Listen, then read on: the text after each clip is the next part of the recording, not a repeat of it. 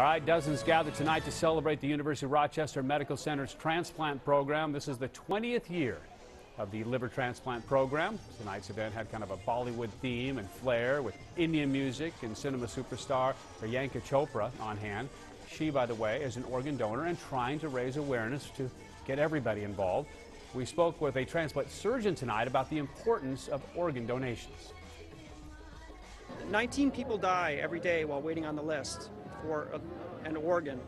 And uh, we need to improve our uh, registration, the number of people that are registered to be organ donors, particularly here in New York State. Uh, we're 48th worst in the country, and uh, we want to uh, bring together this event to raise awareness. Now, we have more information about organ donations on our website. Just go there, whec.com, and then click on those web links. Well, a young